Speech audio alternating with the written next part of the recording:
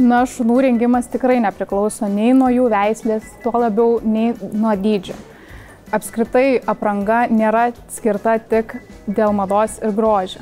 Tiek mažesnės, tiek didesnės veislės šunims visų pirma apranga yra skirta dėl komforto ir sveikatos. Ypatingai, kai mus taip dažnai aplanko lėtingi orai, apranga yra tikrai rekomenduojama kiekvienos veislės ar dydžio augintiniui.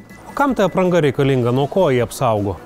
Na, pavyzdžiui, lietpalčiai, kodėl yra reikalingi augintiniams, nes jie apsaugo augintinio kailį nuo drėgmės ir purvo.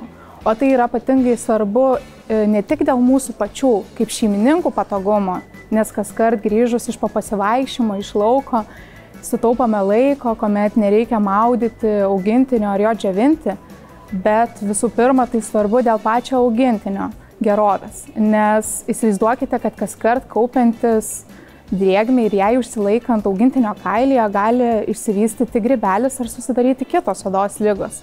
Tai tokiu atveju lietpalčiai ar kombinezonai tikrai yra rekomenduotini kiekvienam augintiniui nepriklausomai visiškai nuo jo dydžio ir iš tiesų, ką pastebime ir kuo tikrai galime pasidžiaugti, kad vis daugėja šeimininkų tą suvokiančių ir pasirenkančių renkti augintinį ne tik dėl mados, bet visų pirma dėl pačio augintinio sveikatos.